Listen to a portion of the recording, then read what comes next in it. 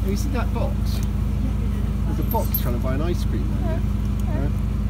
Well, we, we're um, interested in talking to the box.